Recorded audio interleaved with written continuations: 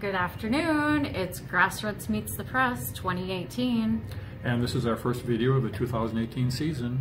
Reason being, it's time to order your bare, Bare root root apple, apple trees. trees. So what you do is you go to tomsgrassroots.com. which is my webpage. Yep.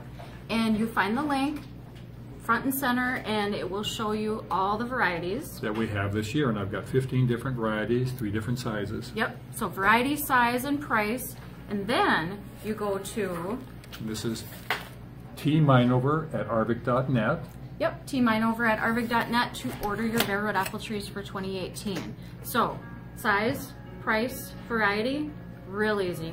And keep in mind that you can order as many as you can, but supplies are limited. I only have about 500 trees. So order now, you pick them up in April, Trish. Yep, and that's tomsgrassroots.com for your bare root apple trees. Happy New Year from Grassroots. We look forward to a whole bunch of this stuff this year, Trish. Yes, we do. Thanks a lot, you guys.